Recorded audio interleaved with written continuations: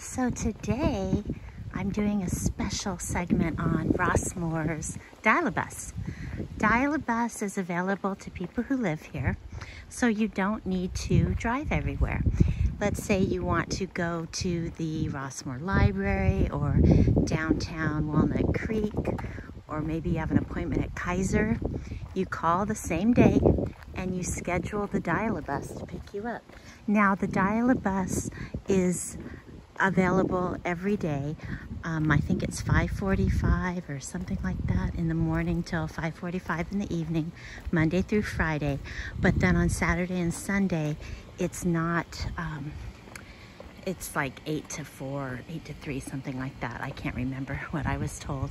But anyway, you just call it the day of your event or what you want to do and you tell them, you know, where you're going and what time you need to be there and they will tell you what time you need to be at the stop for them to pick you up. They do not come to your door. Now, I don't know if like you have a walker or a wheelchair, then perhaps they do. That I don't know for sure. I did not ask that. But it's a really cool service and it's completely free, just like so many things are at Rossmoor. And I just think it makes for a very nice living because you don't have to drive. There's lots of events at Rossmoor. The parking is plentiful, but it's just kind of nice to just be able to jump on a bus and go. Now, I'm a minimalist, so of course I think that way. I think that you should walk when you can walk.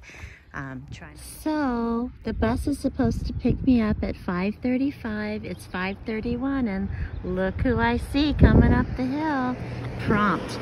Now, I don't know if I was late, if they would have missed me, but here they are, ready to pick me up.